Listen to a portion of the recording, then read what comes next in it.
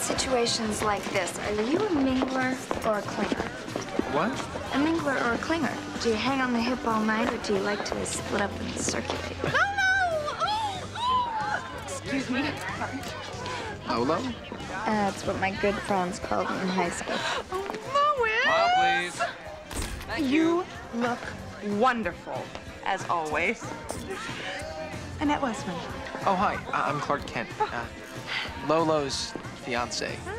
You must have been one of her good friends. No, no, we barely spoke, right, Lolo? Well, well, we, you know, we did. Uh, you look great. really? Like I'm ready for the prom.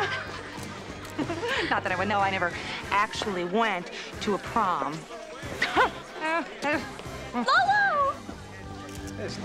Julie! Oh, oh, look, I, I really want you to meet Julie. Um, oh, Annette, why don't we all No, no, no, you go say- on. Run off to Julie. It's like the old days.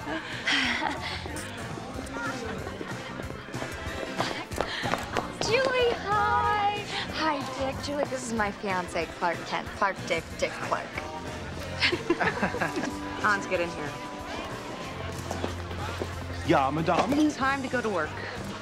I will be the center of attention at this stupid event. Ja, madame. I will get into position, but do not release it until my signal. Ja, madame.